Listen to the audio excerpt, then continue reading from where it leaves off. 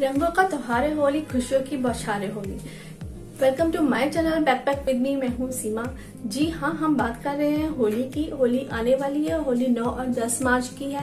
9 मार्च को होली का दहन और 10 मार्च को दुल्हनडी यानी कि रंग खेलने वाली होली है। इस बार की होली के लिए आप तीन से चार दिन का हॉलीडे प्लान कर सकते हैं। दोस्तों, होली शब्द के साथ ही हमें गुजिया, राधे राधे की पुकार, कृष्ण भजन, होली के गीत, रंगों में सरोबार लोग देखने को मिलते हैं। हम बात कर रहे हैं मथुरा वन, वृंदावन और बरसाने की होली की। अगर इस बार आप होली, वृंदावन, मथुरा या बरसाने में मनाने की सोच रहे हैं तो चलिए हम आपको बताते हैं कि आप किस दिन कौन सा फेस्टिवल कहाँ मना सकते हैं। दोस्तों, मथुरा की होली एक हफ़्ता पहले ही स्टार्ट हो जाती है। बरसाने की लठमार होली का आनंद आप राधा रानी टेंपल बरसाने में ले सकते हैं, जो चार मार्च को आयोजित की जा रही है। इसकी टाइमिंग चार बजे रहेगी। मेक श्योर आप तीन बजे तक पहुँचे, अन्यथा रश बहुत ज़्यादा हो जाता है। पाँच मार्च को भी आप सेम इसी फेस्टिवल का आनंद ले सकते हैं, मगर उसके लिए आपको नंदगांव जाना पड़ेगा, जहाँ पर कृष्ण जी का बचपन बीता था। छह मार्च को आप बाकी बिहारी टेंपल में फूलों वाली होली का आनंद ले सकते हैं। इसकी टाइमिंग चार बजे रहेगी। आप हमेशा इस चीज़ का ध्यान रखें कि आप थोड़ा पहले पहुँच जाए, क्योंकि मंदिरों में भीड़ हो जाती है इस टाइम पर। तो आप थोड़ा टाइमिंग ले, टाइम लेकर चलें। आठ मार्च को आप विडो होली का आनंद ले सकते हैं जो गोपीनाथ टेंपल वृंदावन में आयोजित की जाती है। 9 मार्च को आप बाके बिहारी टेंपल में होली का आनंद ले सकते हैं। यहाँ पर आने वाले श्रद्धालुओं पर पवित्र जल और रंगों की बौछार होती है।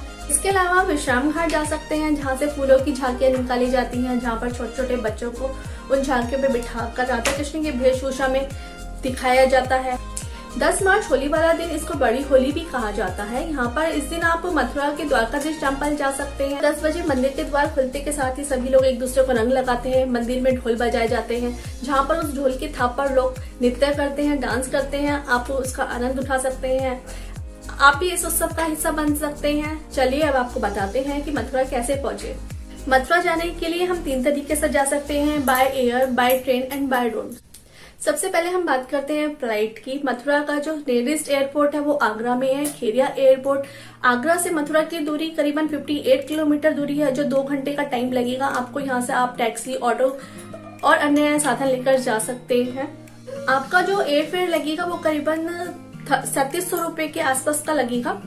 अगर आप ट्रेन से जाने की सोच रहे हैं तो मथुरा जंक्शन और Mathura cantt main railway station है, जो इंडिया के अदर सिटीज़ से वेल कनेक्टेड है, जैसे दिल्ली। ट्रेन फेयर की बात करें, दिल्ली को हम सेंट्रल मान के चलते हैं। सेकंड एसी का 700 थर्ड एसी का 495 और स्लीपर क्लास का 150 अराउंड आएगा। अब हम बात करते हैं बाय रोड की। अगर आप अपनी गाड़ी से जा रहे हैं तो आपको करीबन तीन से साढ़े तीन घंटे लग जाएँगे। मथुरा की सड़कें देश के अन्य शहरों से वेल कनेक्टेड हैं, जैसे दिल्ली, आगरा, जयपुर, बीकानेर, वाराणसी, कोलकाता। आप वहाँ से आराम से बिल्कुल सीधा आ सकते हैं।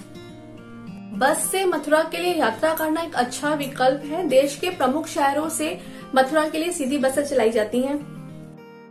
आज के लिए बस इतना ही। दोस्तों, अगर आपको ये वीडियो थोड़ा बहुत भी यूजफुल लगता है तो प्लीज़ लाइक कीजिए सब्सक्राइब कीजिए शेयर कीजिए।